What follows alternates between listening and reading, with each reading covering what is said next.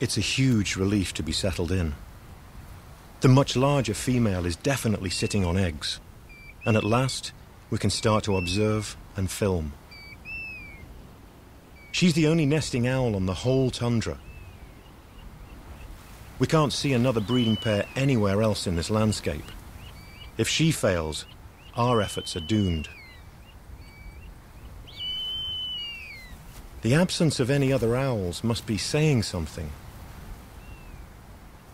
Is our pair doing the right thing by trying to breed in this spot?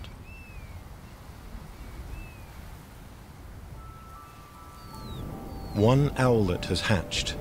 There could be more.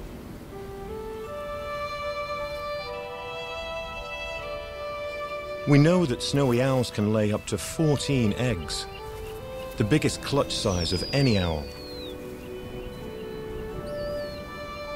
The owlets hatch every few days, but under her blanket of feathers we have no idea yet how many there are.